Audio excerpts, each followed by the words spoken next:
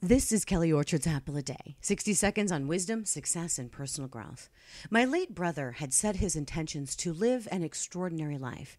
And although his life didn't turn out exactly as he'd thought, his passion for the extraordinary adventures he experienced in his work as a missionary turned out to be just amazing.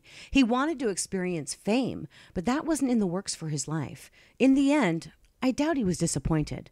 How many of us begin our lives wanting to head in one direction, but end up going in a different way than we had imagined?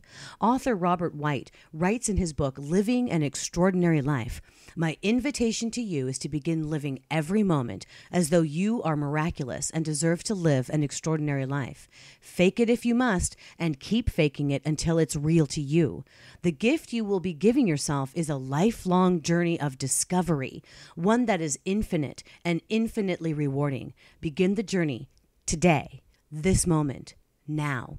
If you don't feel your life has been at all extraordinary, today is the day for your extraordinary life to begin. This has been Kelly Orchard's Apple a Day. Now, go out and be fruitful.